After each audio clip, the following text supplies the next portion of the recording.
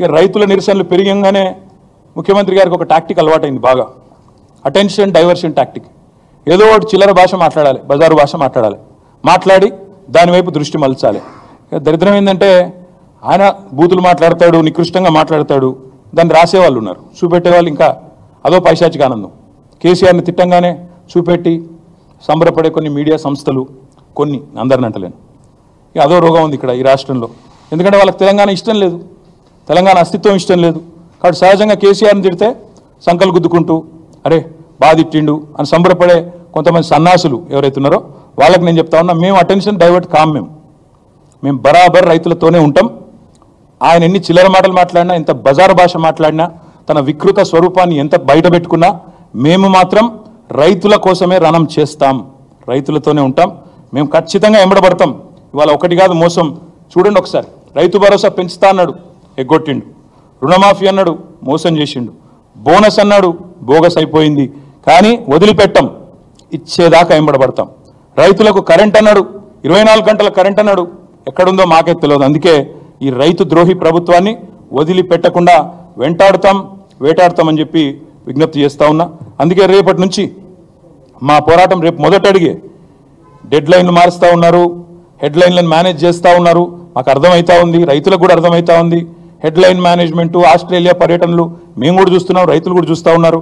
కాబట్టి నేను చెప్పేది ఖచ్చితంగా ఈ ప్రభుత్వం ఏదైతే తేదీ చెప్పిందో పంద్రా ఆగస్ట్ అని మాఫీ చేయనందుకు మాఫీ మాంగో. కిసానోసే మాఫీ మాంగో పెళ్ళే చేయలేదు చేతగానోళ్ళం సన్నాసం అని ఒప్పుకో ఒప్పుకోకపోతే మీరు ఇచ్చిన మాట కనుక నిలబెట్టుకోకపోతే వదిలిపెట్టం వేటాడతాం. అక్రమ కేసులు అరెస్టులు ఉపసంహరించుకోండి ఆ ఎఫ్ఐఆర్లు ఏవైతే తలమడుగులో చేశారో రిజిస్టర్ మా ఎమ్మెల్యే అనిల్ జాదవ్ గారు నా దృష్టికి తీసుకొచ్చారు. నేను ఎస్పీ గారు కూడా మాట్లాడినా. ఉపసంహరించుకోండి నేను విజ్ఞప్తి చేస్తా ఉన్నా. రైతుల మీద కేసు పెట్టడం మంచిది కాదు. మరి రైతు డిక్లరేషన్లని పోజులు కొట్టి ఇప్పుడేమో పోలీస్ స్టేషన్లో పెడతామంటే ఊరుకోము. తప్పకుండా రైతుల పక్షాన్ని నిలబడతాం.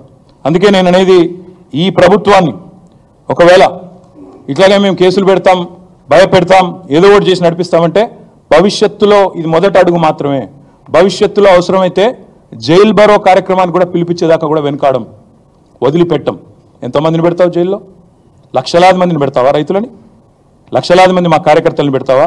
దగాబడ్డ రైతుల తరపున దండు కడతాం కొట్లాడతాం రుణమాఫీ జరిగేదాకా రైతులతో కలిసి రణం చేస్తాం అన్నదాతల ఆందోళనకు కూడా అండగా నిలబడతాం.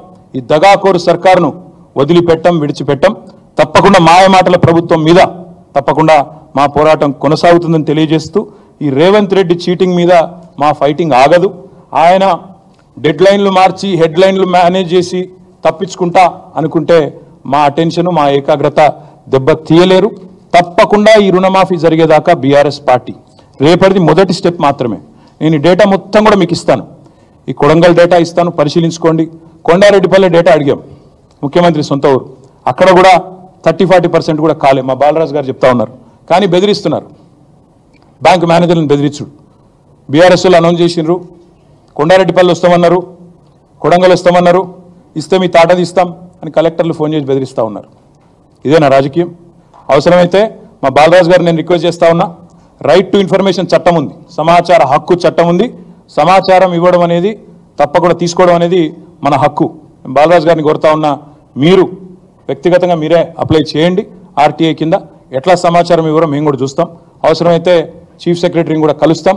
కొండారెడ్డిపల్లెలో ఏమైంది? కొడంగల్లో ఏమైంది? రాష్ట్రంలోని రైతులకు ఎంత అన్యాయం జరిగింది? ఇవన్నీ కూడా ఎక్స్పోజ్ చేస్తాం బయట పెడతామని చెప్పి కూడా మళ్ళొకసారి తెలియజేస్తూ రాష్ట్ర రైతన్నలకు నేను విజ్ఞప్తి చేస్తా ఉన్నా. మీరు దయచేసి స్థైర్యం కోల్పోకండి. ఈ మోసగాళ్ళు ఏదైతే మిమ్మల్ని వంచిస్తా ఉన్నారో మీరు స్థైర్యం కోల్పోకుండా మీ తరపున పోరాటం చేయడానికి బీఆర్ఎస్ ఉన్నదనే మాట కూడా విజ్ఞప్తి చేస్తూ మీ అందరికీ ధన్యవాదాలు.